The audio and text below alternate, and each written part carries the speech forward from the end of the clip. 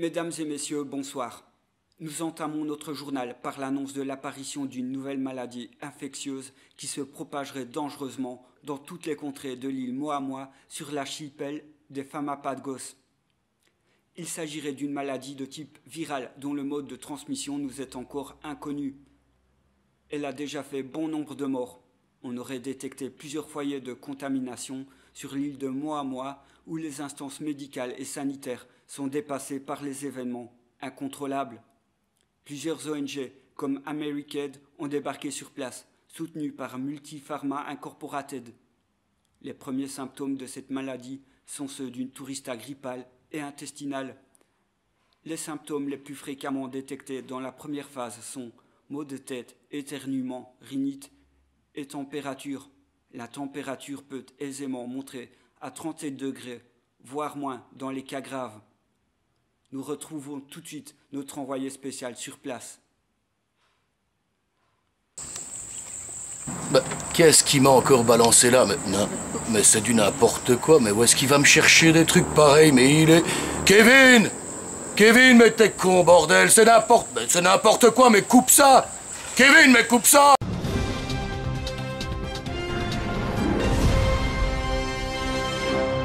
Mesdames et messieurs, bonsoir.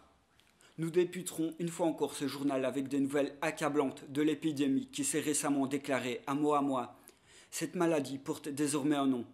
Il s'agit du conaravirus, comme viennent ainsi de le baptiser les scientifiques de l'OMMS, l'Organisation mondiale de manipulation de la santé.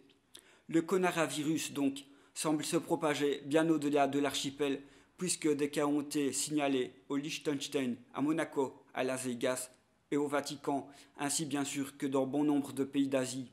Le MMS a déclaré l'état d'urgence pandémie à l'échelle mondiale. Au fur et à mesure de la progression de la maladie, de nouveaux symptômes ont été découverts chez les personnes atteintes du, du coronavirus. Il s'agit de boursouflures, vomissements et diarrhées intempestives et pestilentielles. Le personnel médical est submergé il s'avère incapable d'enrayer la maladie. Le nombre de cas testés positifs ne cesse de croître de jour en jour. Quant à l'origine de la maladie, on se perd encore en conjecture, mais la théorie actuelle postule qu'elle a été transmise à l'homme par l'intermédiaire d'une courgette qui aurait été mordue par une chauve-souris, la Plecotus conarensis, de la sous-famille des Desmondotina conarensis, originaire des confins de l'Antarctique et en grave menace d'extinction. En ce qui concerne les statistiques, le nombre de tests positifs a explosé. Le nombre de décès reste stable.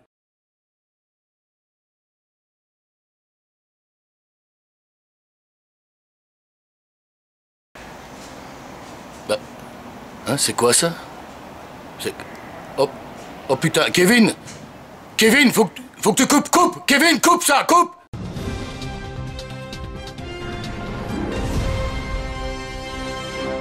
Mesdames et messieurs, bonsoir. Nous devons aborder aujourd'hui encore la pandémie de coronavirus qui fait trembler la planète et continue de se propager. La recherche sur la transmission du virus progresse tant bien que mal. Il semblerait que le virus ait muté et que de nouvelles voies de contamination soient possibles. On rapporte ainsi des cas de transmission par voie anale. Par ailleurs, les symptômes dans les phases avancées de la maladie s'apparentent à la démence sénile ou à la folie furieuse. De nombreux cas ont été signalés dans les plus hautes sphères gouvernementales ainsi que parmi les forces de l'ordre.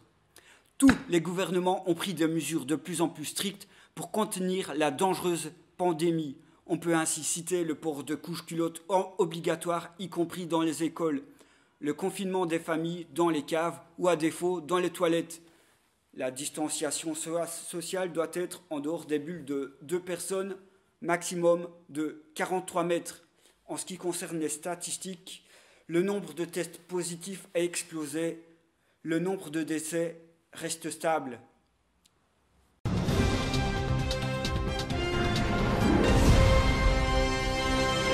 Mesdames et messieurs, nous interrompons ce programme en raison de euh, nouvelles euh, accablantes de l'OMMS concernant le coronavirus.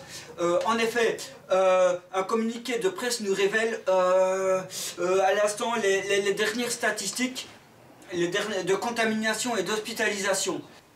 Je les découvre avec vous. Depuis l'augmentation exponentielle du nombre de personnes testées, le nombre de tests positifs a littéralement explosé dans les mêmes proportions.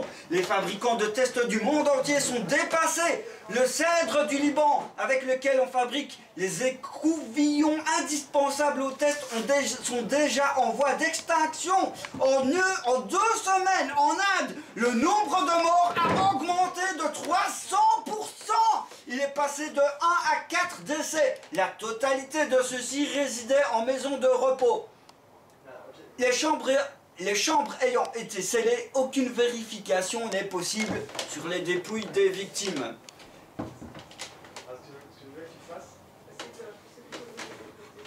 Problème technique. Les épidémiologistes sont très inquiets et préconisent une augmentation drastique des mesures sanitaires, parmi lesquelles la fermeture totale des magasins alimentaires, le bouclage des établissements hospitaliers, la mise en soixantaine des experts de santé. Le nombre de décès reste stable. Ce qui est mal barré, ça.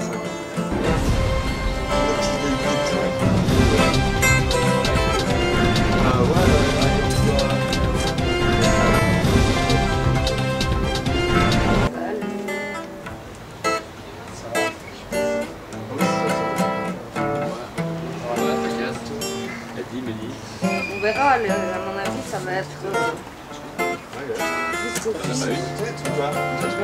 pas très bien. Allez. Et elle l'a jamais fait. Bah, euh,